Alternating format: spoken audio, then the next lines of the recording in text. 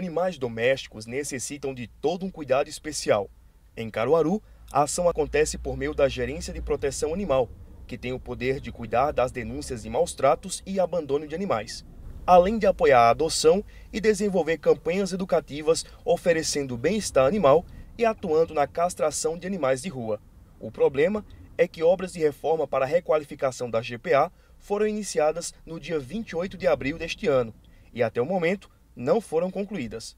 Mas a partir de hoje, duas clínicas particulares começam a atender animais encaminhados da GPA a gente, a gente começa a funcionar os serviços de castração, as castrações. A gente tem duas empresas que passaram agora num processo, que foram contratadas no processo de licitação, duas clínicas particulares que estavam sendo é, aguardadas né, por nós para fazer esse tipo de serviço. Então, inicialmente, eles vão fazer a castração, as consultas também, mas para fazer consulta nessas clínicas, a gente precisa também do atendimento aqui na gerência, que ainda está dependendo da conclusão das reformas, é, mas inicialmente a gente vai estar fazendo as castrações.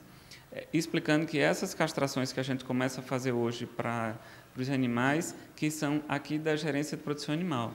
Para você ter ideia, a gente tem em torno de 130 animais alojados e 95% ainda é, aguardam castração. Então, a gente precisa castrar primeiramente os animais que estão alojados aqui na gerência, para que a gente possa ir diminuindo essa demanda, essa quantidade de animais que a gente tem, para que eles possam ser doados e aí sim a gente consiga recolher mais das ruas.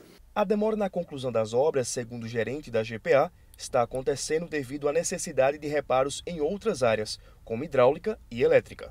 E o prédio principal, esse que a gente está, onde a gente vai estar prestando esse atendimento, falta muito pouco. Então a gente acredita que muito em breve esse serviço de atendimento à população na sede aqui da GPA vai estar disponibilizado. Dona Josefa tem oito cachorros, todos que ela resgatou da rua. Durante o período que a GPA estava sem atendimento, ela teve que tirar do próprio bolso para pagar consultas e exames dos seus animais. Agora, com a notícia que a GPA retoma algumas atividades, ela fica feliz em saber que poderá ter essa ajuda. Aí, agora, como a GPA voltou, graças a Deus que não vai ter mais aperreio para ninguém. Todo mundo vai ser atendido e os bichinhos não vão mais ficar sofrendo, né? Com certeza. A expectativa está grande, não é isso? Para a volta da GPA? Com certeza, mas vai abrir, vai sim. Vai porque eles estão trabalhando para isso.